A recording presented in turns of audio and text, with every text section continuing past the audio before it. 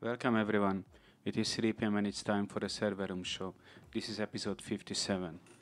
Today we will continue uh, on forward from episode 56 of last week regarding uh, Sun Microsystems, uh, going through the history of uh, Sun Microsystems. In the previous episode, I talked about uh, my background, how I didn't come into contact with uh, Sun Microsystems back in the day, which, as if you listen to the to the previous episode, I mentioned that uh, Sun Microsystems workstations and servers were not actually cheap uh, back in the day. They are neither very cheap today, and uh, practically you had to have some nice job or or be in a university or some research uh, lab or or some government entity or contractor to to come across these uh, devices. The Sun Microsystems servers were mostly used in uh, at later uh, stages in um, telecom uh, providers like like ISPs back in back in the day. So of course I, I didn't come come across this uh, these workstations and uh, computers back in the day in my um, high school years. In uh, in a high school for example it was uh, it was not for a budget of uh, educational institutions or it's true I didn't uh, get through to university, and uh, but I didn't hear about any Sun workstations in in university and Hungary for sure. So we I also uh, discussed uh, some of the early history and uh, regarding the hardware iterations and changes Sun uh, microsystems went through. something very similar to to today of uh, Apple, who went from the Motorola chips to PowerPC, then transitioned to Intel x86, and then uh, just lately they are shifting towards their own uh, Apple Silicon. A little uh, bit similar happened to to Sun. They started out in the 80s on Motorola x86 sorry, Motorola 68000 uh, family-based CPUs, then went on to SPARC-based uh, systems, which was their own RISC uh, processor architecture of their own design, and from there on they ventured to x86-based systems, and uh, and eventually, uh, yeah, that's where that's where they stopped it, and uh, Oracle obtained uh, Sun Microsystem, Sun Microsystems. I think it was on 2010.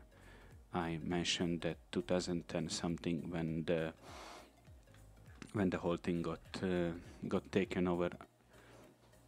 And then I spoke a little bit about uh, the software uh, because uh, Sun, even though initially was known as a hardware company, its software history uh, began with its founding.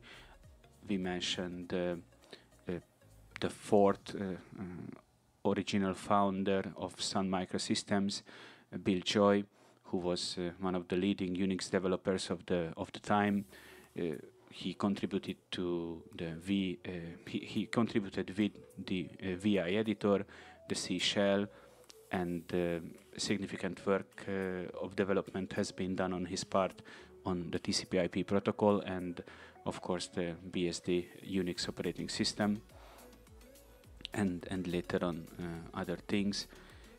So Sun was not just known, even though initially it was known of its hardware, but its uh, software was just as important.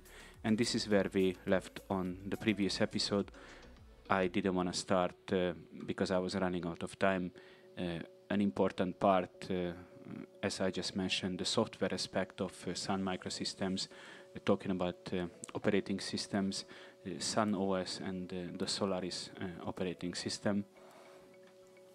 Sun is best known for its uh, Unix systems, which have a reputation for uh, system stability and uh, a consistent design philosophy Sun's first workstation shipped with the Unisoft uh, V7 Unix, Later in 1982, Sun began providing Sun OS, a customized 4.1 BSD Unix as the operating system for its workstations. In 1987, AT&T Corporation and Sun announced that they were collaborating on a project to merge the most popular Unix variants on the market at that time, the Berkeley Software Distribution, Unix System 5 and Xenix. This became Unix System 5 Release 4 or SVR4 uh, as an acronym. On September 4, 1991, Sun announced that it would replace its existing BSD-derived Unix Sun OS 4 with one based on SVR4. This was identified internally as Sun OS 5 but a new marketing name was introduced at the same time, Solaris 2. The justification for this new overbrand was that it encompassed not only SunOS but also the Open Windows graphical user interface and Open Network Computing, the ONC functionality. Although Sun OS 4.1.x micro releases were retroactively named Solaris 1 by Sun, the Solaris name is used almost exclusively to refer only to the releases based on SVR4, derived Sun OS 5.0 and later. For releases based on Sun OS 5, the Sun OS minor version is included in the Solaris release number. For example, Solaris 2.4 incorporates Sun OS 5.4. After Solaris 2.6, the 2 point was uh, dropped from the release name, so Solaris 7 incorporates SunOS 5.7 and the latest release SunOS 5.11 from the uh, core of Solaris 11.4. Although Sunsoft uh, stated in its initial Solaris 2 press release their intent to eventually support both SPARC and x86 systems, the first two Solaris 2 release Uh, releases 2.0 and 2.1 were SPARC only. An x86 version of Solaris 2.1 was released in June 1993 and about six months after the SPARC version as a desktop and uniprocessor workgroup server operating system. It included the Wabi emulator to support Windows applications. From 1992, Sun also sold Interactive Unix, an operating system it acquired when it bought Interactive Systems Corporation from Eastman Kodak Company. This was a popular Unix variant for the PC platform and a major competitor to market leader SCO Unix. Sun's focus on interactive Unix diminished in favor of Solaris on both SPARC and x86 systems. It was dropped as a product in 2001. By the mid 1990s, the ensuing Unix wars had largely subsided. AT&T had sold off their Unix interest, and the relationship between the two companies was significantly reduced. In 1994, Sun released Solaris 2.4, supporting both SPARC and x86 systems from a unified source code base. Sun dropped the Solaris 2.x version numbering scheme after the Solaris 2.6 release in 1997. The following version was branded Solaris uh, 7. This was the first 64-bit release intended for the new UltraSPARC CPU based on the SPARC uh, V9 architecture. Within the next four years, the successor Solaris 8 and Solaris 9 were released in 2000 and 2002 respectively. Following several years of difficult competition and loss of server market share to competitors' uh, Linux-based systems, Sun began to include Linux as part of its uh, strategy in 2002 Sun supported both Red Hat Enterprise Linux and the SUSE Linux Enterprise Server on its x64 uh, systems. Companies such as Canonical Ltd, Wind River Systems, and MontaVista also supported their version of Linux on Sun SPARC-based systems.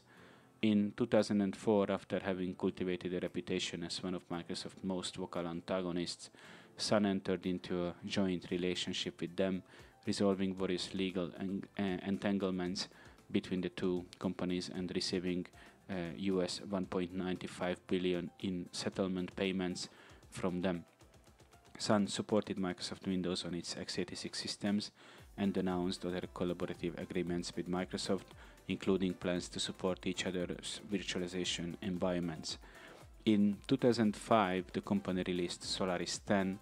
The new version included a large number of enhancements to the operating system, as well as very novel features previously unseen in the industry.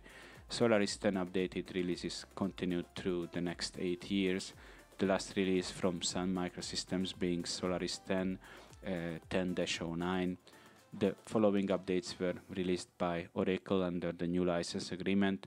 The final release is uh, Solaris 10 uh, 1-13. Previously, Sun offered a separate variant of Solaris called uh, Trusted Solaris, which included uh, augmented security features such as multi-level security and the least privilege access model. Solaris 10 included many of the same capabilities as Trusted Solaris at the time of its initial release. Solaris 10 11-06 included Solaris Trusted extensions, which give it the remaining, uh, remaining capabilities needed to make it a functional successor to Trusted Solaris.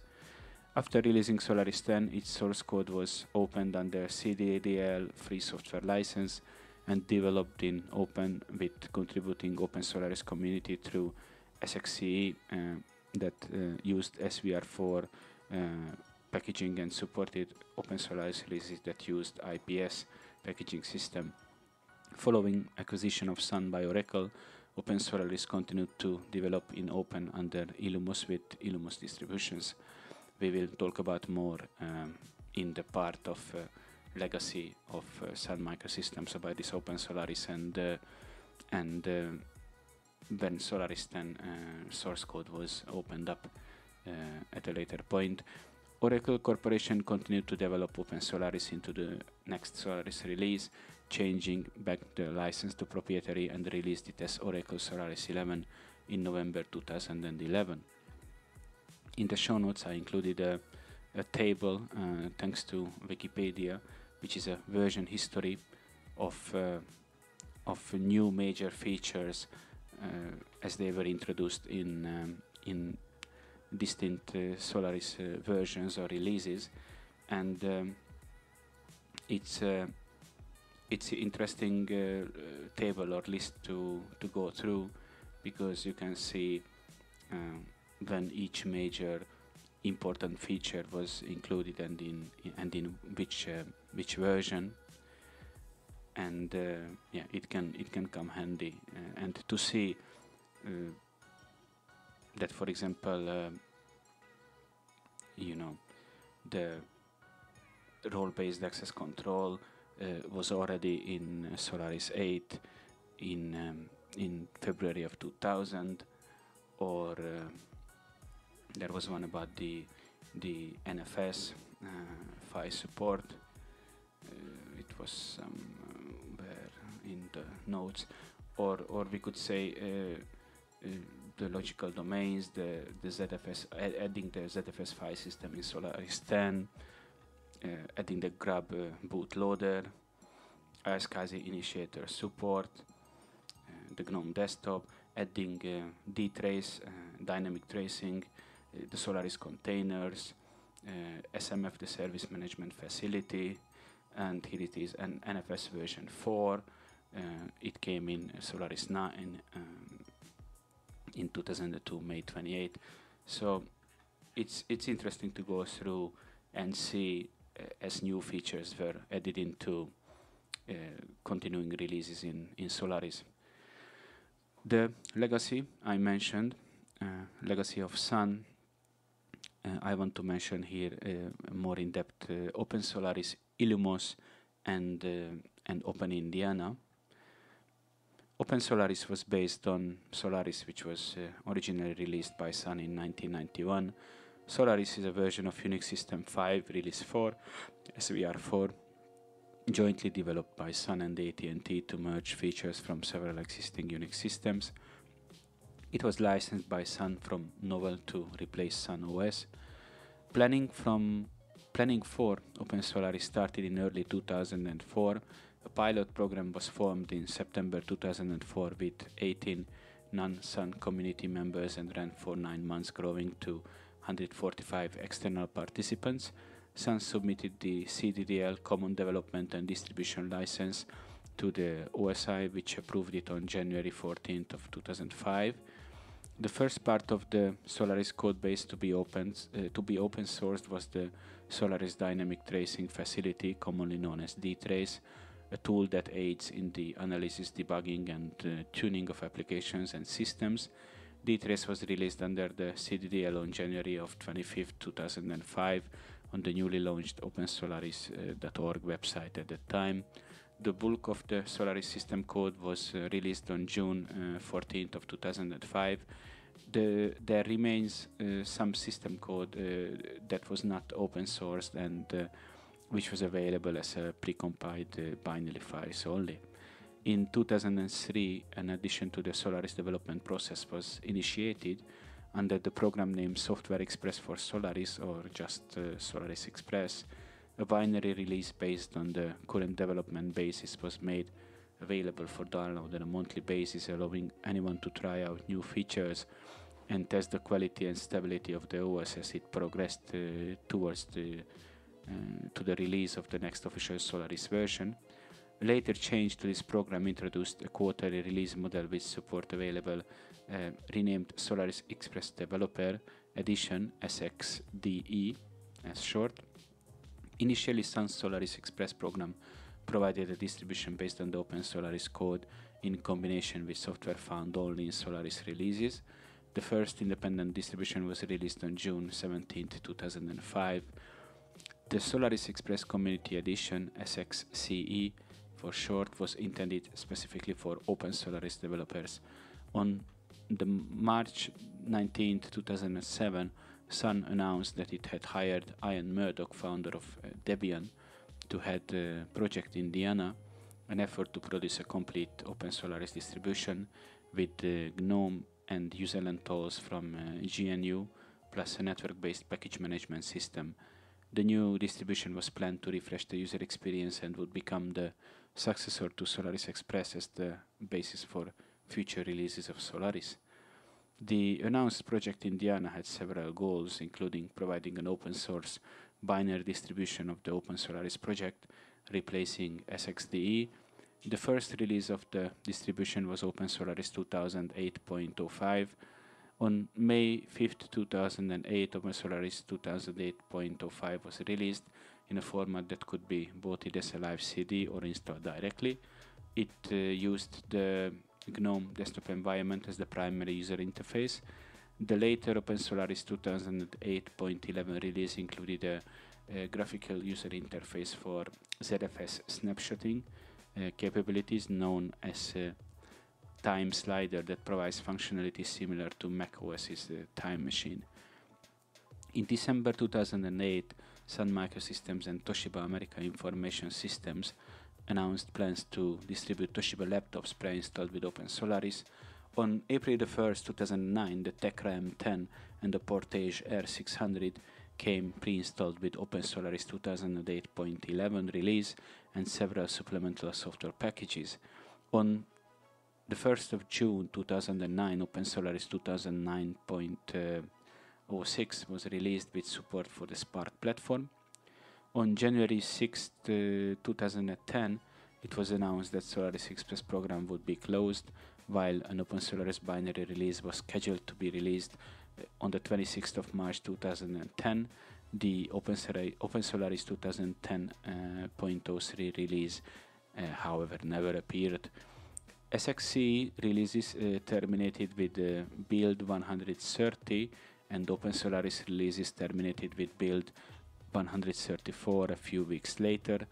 The next release of OpenSolaris based on build uh, 134 was due in March 2010, but it was never fully released, though the packages were made available online, uh, made available on the package uh, repository. Instead, Oracle renamed the binary distribution uh, to Solaris 11 Express, changed the license terms, and released build 151A as 2010.11 uh, in November uh, 2010. Uh, as a side note, there are a few forks based on Open Solaris, such as BeleniX, Eon, ZFS Storage, Illumos, Jaris OS, MartUX, MilaX, Nexenta OS, eh, Nexenta Store, Open Indiana, OpenSXE, eh, Schillix, SmartOS, StormOS. I think Nexenta OS is uh, is discontinued, so some of these might not be still maintained, but it's it's a good list to know. On the 14th of September 2010, Open Indiana was formally launched at the JISC Center in uh, London. While Open Indiana is a fork in the technical sense, it is a continuation of Open Solaris in uh, spirit. The project intends to deliver a System 5 family operating system which is binary compatible with the Oracle products uh, Solaris 11 and Solaris 11 Express. However, rather than being based around the OS/NET consolidation like Open Solaris was, Open Indiana became a distribution based on Illumos. The first release is uh, still based around OS/NET. However, the project uses the same IPS package management system as uh, Open Solaris did. Illumos is a partly uh, free and open source Unix operating system it is based on OpenSolaris, which was based on System 5 Release 4, SVR4, and the Berkeley software distribution, uh, BSD. Illumos compromises a kernel, device drivers, system libraries, and utility software for system administration. This core is now the base for many different open source Illumos distributions in a similar way in which the Linux kernel is used in different Linux distributions. Open Indiana is a free and open source Unix operating system derived from Open Solaris and based on Illumos. Developers forked Open Solaris after Oracle Corporation discontinued it in order to continue development and distribution of the source code. Open Indiana is named after Project Indiana, the development code name at Sun Microsystems for Open Solaris. Uh, a list of uh, open source contributions of uh, Sun Microsystems I did mention that Sun had many open source initiatives and uh, products. Almost uh, all of the software was uh, open source as well as some of the hardware designs. I left in the show notes a list of some of the some of the products I could put together, which contributed to to open source community operating systems like Open Solaris, uh, Open HA cluster, high availability cluster, the Java desktop Linux. In storage and networking, obviously ZFS, uh, QFS, and the Lustre file system. In virtualization, uh, VirtualBox, and logical domains, virtualization um, server. Databases, the Java database, uh, kind of like a Sun supported vers version of Apache Derby. MySQL, under developer tools, uh, NetBeans, uh, Java, uh, in grid uh, technology, Sun Grid Engine, in the middleware category, OpenDS, OpenSSO, Glassfish, Glassfish Enterprise Service Bus, Glassfish uh, Web Server. In productivity, the aforementioned uh, Star Office, which uh, got open sourced by Sun, and then it uh, founded the basis for OpenOffice.org or the OpenOffice Office package. And in hardware, the OpenSPARC open source chip designs and the TN, T1 and T2 uh, multi-core, multi-threaded processors uh, design. Uh, desktop environments used in uh, Solaris. There was the Open Windows, the uh, always called the older OLV WM, Open Windows in Solaris. I left a screenshot of that, and the common desktop environment, the CD, which was eventually open sourced in uh, the 2012 uh, August. Um, and this is a screenshot in the show notes uh, CD running on Solaris 10 early releases of Solaris used uh, Open Windows as the standard uh, desktop environment. In Solaris 2.0 to 2.2, Open Windows supported both uh, NeWS and X applications and provided backward compatibility for SunView applications from Sun's older desktop environment. NeWS allowed applications to be built in an object-oriented way using PostScript, a common printing language released in 1982. The X Window system originated from MIT's Project Athena in 1984 and allowed for the display of an application to be disconnected from the machine where the application was running, separated by uh, a network connection. Sun's originally bundled SunView applications uh, suite was ported to uh, X. Sun later dropped support for legacy SunView applications and NeWS with uh, Open Windows 3.3, which shipped with Solaris 2.3, and switched to X11R5 with uh, display PostScript support. The graphical look and feel remained uh, based upon OpenLook. Open Windows 3.6.2 was the last uh, release under Solaris 8. The OpenLook window manager uh, OLWM with the uh, other OpenLook specific applications were dropped in Solaris 9, but support libraries were still bundled, providing long-term binary backwards compatibility with existing applications. The OpenLook virtual window manager can still be downloaded uh, for Solaris from uh, Sunfreeware and works on releases as recent as Solaris 10. The Common Desktop Environment uh, CD was open sourced in August 2012. Sun and other, other Unix vendors created an industry alliance to standardize Unix desktops.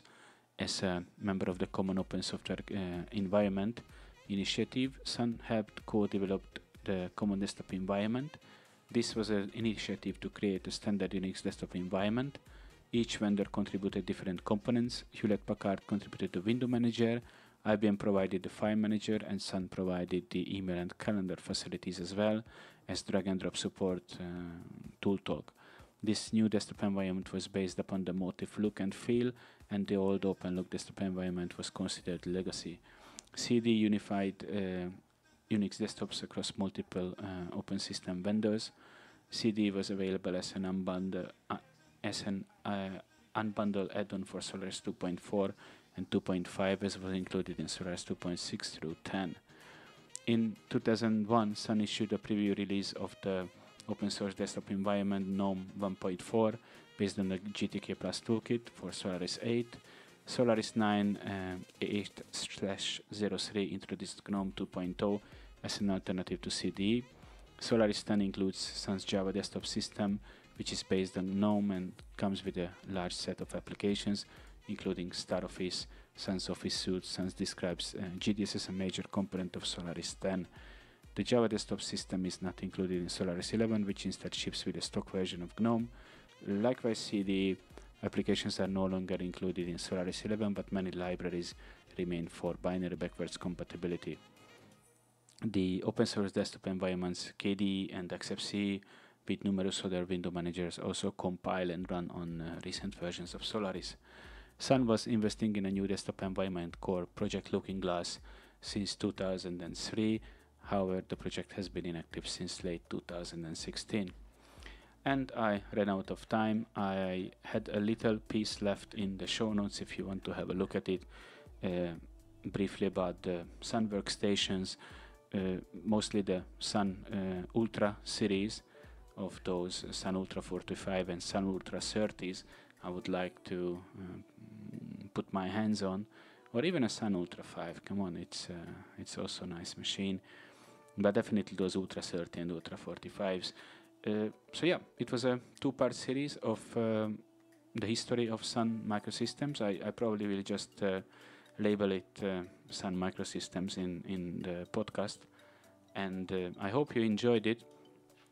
Most of the time, these uh, two-part episodes are not really planned. It's just I start working on the show notes and then I realized that in in half an hour there is no way to to push through uh, on, that much uh, information uh, as I as I wrote down. So uh, sometimes I have to break and and do do a part two, but uh, I think it's still fun and uh, as always the accompany accompanying show notes are are a vital piece of of all the information uh, passed through and uh, it can serve as a great uh, basis of information while listening to the show. thank you very much and see you next Saturday in episode 58 and probably I uh, go and uh, work on the show notes now and figure out what to talk about uh, in episode 58. I'm sure it's going to be something interesting. Thank you very much and and see you next week.